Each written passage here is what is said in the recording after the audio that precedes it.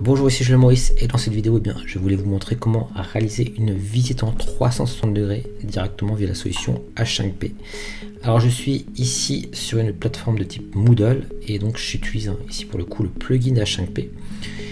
Et l'idée en fait, ça va être simplement de vous montrer bien comment réaliser un petit peu ce scénario. Hein. Ici, j'ai fait une petite balade très rapide en trois finalement en trois scènes vous voyez, je vais pouvoir avec H5P me promener d'une scène à l'autre. Hein, ce sont des images en 360 degrés.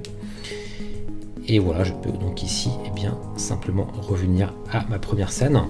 Je vais également vous montrer eh bien, comment on va pouvoir intégrer ben, du texte directement à nos expériences. Également, pourquoi pas, eh bien, de l'audio hein, si vous le souhaitez.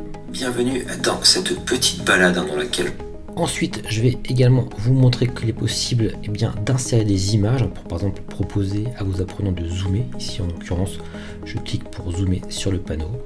Mais également des vidéos, ici directement pour le coup intégrées depuis YouTube.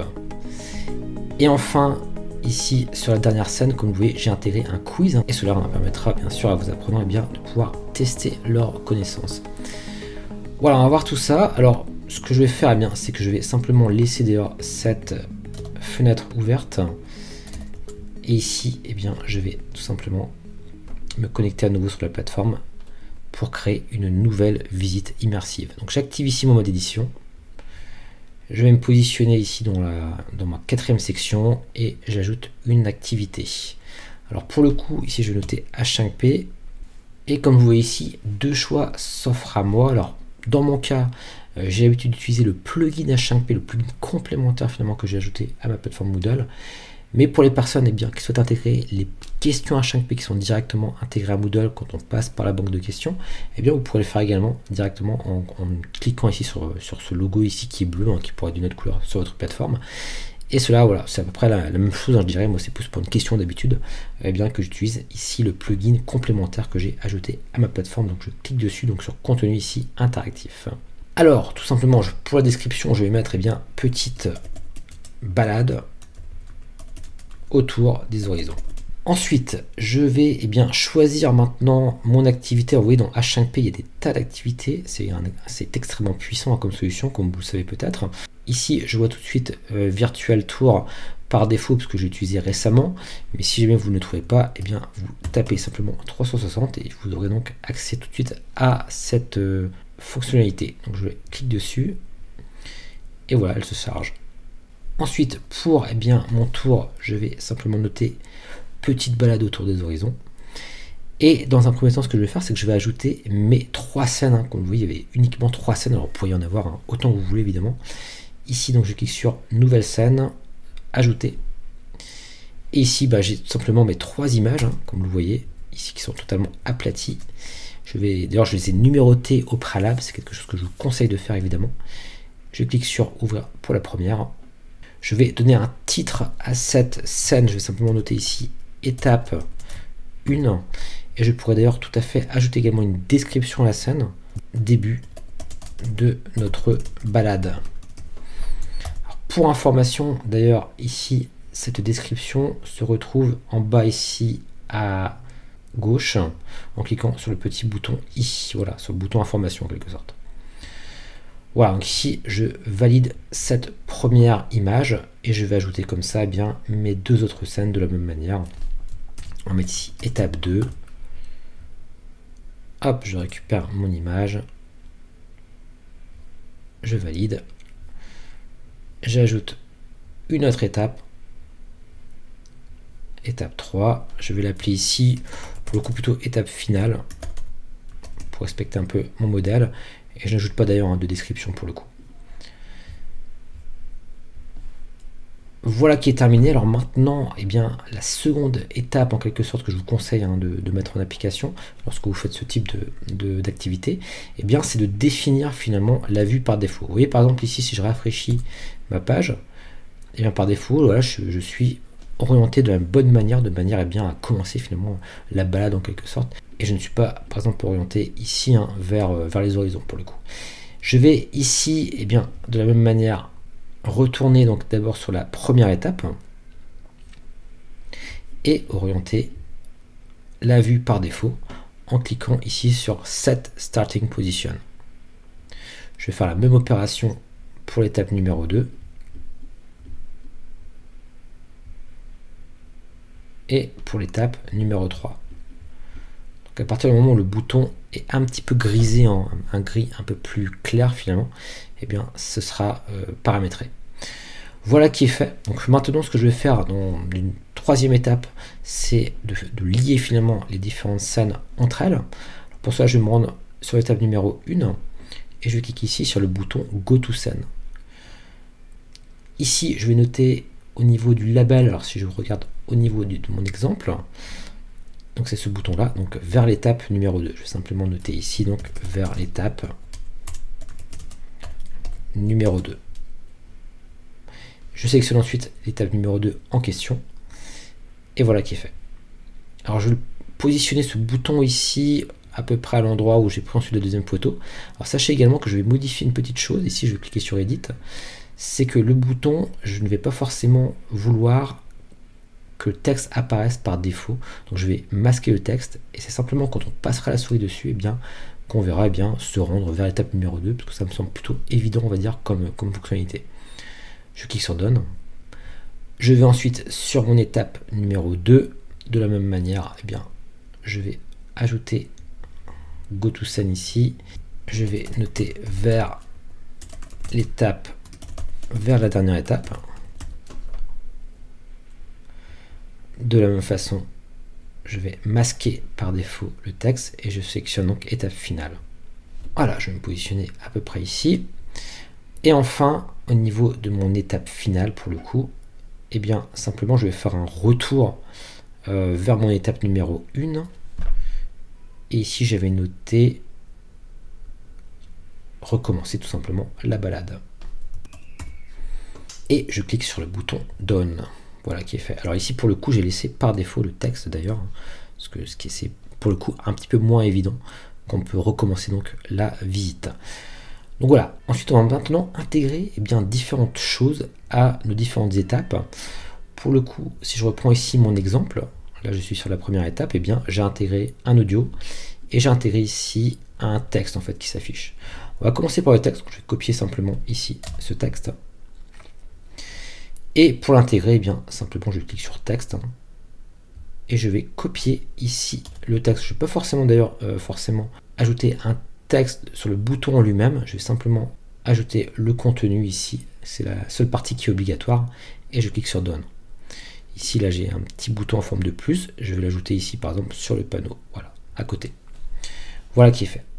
Ensuite, on va pouvoir ajouter notre audio d'introduction. Je vais cliquer ici sur audio et là, je vais mettre un petit label quand même. Je vais, pour indiquer finalement aux personnes qu'elles peuvent donc accéder à un accueil audio, je vais simplement noter accueil audio. Par défaut, il va apparaître d'ailleurs. Hein. Je pourrais tout à fait ici, pour être sûr, cliquer sur Show, mais par défaut, ce label apparaîtrait. Ensuite, euh, je vais simplement ici noter accueil audio une nouvelle fois pour le titre euh, de l'audio pour le coup et je vais rechercher mon audio. Alors c'est un point wave. Alors vous pouvez mettre du point wave ou du point mp3 pour information. Et ici ça va être de présentation de la balade par exemple. Voilà qui est fait. Je clique sur Done et je vais le positionner en haut ici à gauche par défaut quand la personne va arriver finalement sur la visite. Ensuite, on va passer à l'étape numéro 2. Donc ici, je souhaite faire un petit zoom, rappelez-vous, au niveau de, cette, de ce panneau. Pour ça, je vais intégrer donc mon image et je vais l'appeler zoom. Je vais laisser apparaître d'ailleurs par défaut. Je vais ajouter ensuite mon image, ici image panneau. Texte alternatif, je vais noter zoom et je peux mettre, un texte au survol, donc la personne passera la souris dessus. Et ce texte, je peux noter simplement cliquer pour zoomer sur le panneau. Voilà qui est fait. Ensuite, je vais pouvoir également ajouter donc ma vidéo. Je vais cliquer sur le bouton ici, vidéo. Alors, j'avais peut-être mis d'ailleurs un label ici sur mon exemple. Voilà, lire la vidéo tout simplement. Je le laisse apparaître par défaut. Présentation des horizons, voilà pour le titre de la vidéo. Et maintenant, je vais aller récupérer pour le coup une URL. Alors ici, d'ailleurs, je vais pouvoir la récupérer directement. Voilà, je fais simplement un copier-coller pour le coup. Voilà, je vais ici dans ma visite en cours de création hein, et je vais copier finalement mon URL dans la partie donc lien YouTube. je vous conseille hein, de, le faire de cette manière plutôt que de télécharger un fichier vidéo qui peut être relativement lourd, on va dire. Donc voilà, je clique sur Done et automatiquement hein, l'intégration se fait, l'embed se fait sans que j'ai d'autres opérations donc à réaliser. Voilà qui est fait pour cette deuxième scène. Maintenant, eh bien, sur la troisième scène, ce qu'on va faire, sur l'étape finale en quelque sorte, c'est que je vais simplement ajouter un quiz. Alors ici, je vais choisir un single choice set. Alors oui, par défaut d'ailleurs, il me propose deux questions. Ici, dans mon cas, il n'y en aura qu'une seule. Hein. Voilà. Je vais confirmer. Alors, si je vais sur eh bien, la visite qui me sert un peu de modèle, Eh bien, au niveau du quiz, simplement je vais copier, voilà, quelle est l'année de construction des horizons. Donc j'ai trois réponses possibles et vous voyez qu'il n'y a que deux réponses ici de possibles. Je vais ajouter ici donc une autre réponse. Et donc, donc la première réponse est la bonne. Donc je note 1970. Ici je notais 1960 et 1980 pour la dernière possibilité je clique sur Done.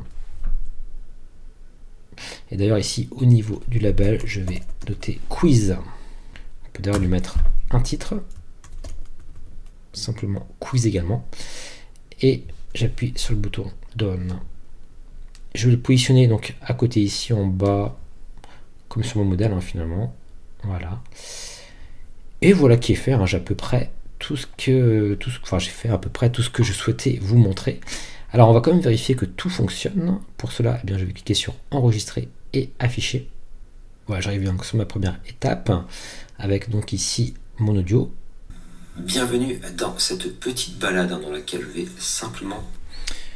Ici donc je j'ai bien accès donc au texte écrit là par rapport au panneau. Je vais ensuite à l'étape numéro 2.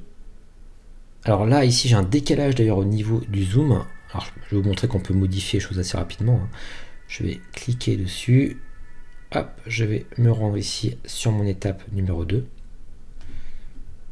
Voilà, je vais le positionner au bon endroit. Enregistrer, afficher maintenant. Voilà donc qui est mieux. Ici donc je clique, j'ai bien mon zoom. Enfin en tout cas j'ai bien intégré pour le coup euh, l'image. Ici donc j'ai bien donc ma vidéo. Voilà qui s'ouvre directement sur YouTube. Et enfin dans mon étape dans ma dernière étape, j'ai bien accès à un quiz. Et je peux donc recommencer la balade si je le souhaite. Donc voilà un petit peu une utilisation assez intéressante, je trouve, du plugin H5P pour réaliser des, visites immersives. Alors je vous conseille éventuellement de suivre un petit peu les étapes telles que je vous les ai montrées, même si vous pouvez directement régler par exemple la vue par défaut dès que vous insérez une image. vous pouvez bien sûr faire, faire les choses à votre manière. Euh, petite chose tout de même euh, à préciser, on ne peut pas jouer deux sons en même temps, c'est-à-dire que si vous avez par exemple ajouté un bruit de fond par exemple sur vos images, enfin en tout, cas sur vos scènes, et eh bien si jamais vous avez un autre audio, et eh bien pour le coup le bruit va se couper, enfin la musique que vous avez ajoutée par défaut entre guillemets va se couper, ou bien le son, le bruit des oiseaux, ce que vous voulez. Donc on ne peut mettre qu'un audio donc à la fois euh, qui va pouvoir être entendu on va dire par l'utilisateur, donc ça c'est un point à noter. Et euh, enfin, il n'y a pas de possibilité également de créer un parcours scénarisé. Par exemple, euh, voilà, si vous avez répondu euh, à telle question, hop, on vous envoie à telle image. Par exemple, ce n'est pas possible. Donc c'est possible bien sûr avec des logiciels auteurs pour le coup qui sont euh, payants. Hein. donc j'aurai peut-être l'occasion de vous en présenter quelques-uns. En tout cas avec H5P, c'est pas quelque chose que vous allez pouvoir faire. Mais déjà, je trouve que ça fait vraiment le job hein, si on veut bien proposer une petite visite comme ça d'un laboratoire, d'une école, de ce qu'on veut ou d'un bâtiment, voilà, peu importe. Voilà, c'est tout de même assez intéressant d'avoir cet accès à, à cet outil et qui s'intègre très très bien pour le coup. Ici, on l'a vu sur une plateforme Moodle. Alors, vous pourriez hein, éventuellement expérimenter, pas forcément dire fait le test, mais l'utiliser directement avec un casque de réalité virtuelle pour voilà, proposer peut-être encore plus d'immersion. Alors juste avant de conclure cette vidéo, sachez que je vous mets à disposition un lien sur lequel vous pouvez cliquer pour recevoir directement euh, eh bien, sur votre boîte mail le PDF descriptif, le tutoriel en quelque sorte de ce que je vais vous montrer. Hein. Ça, vous permettra d'avoir la version papier en quelque sorte de cette démonstration et ça vous permettra également d'être inscrit donc à la Pédago News qui est un petit peu une newsletter que j'envoie de temps en temps sur des questions de pédagogie, de numérique, etc. Voilà bien sur ce, je vous dis à très bientôt dans une nouvelle vidéo.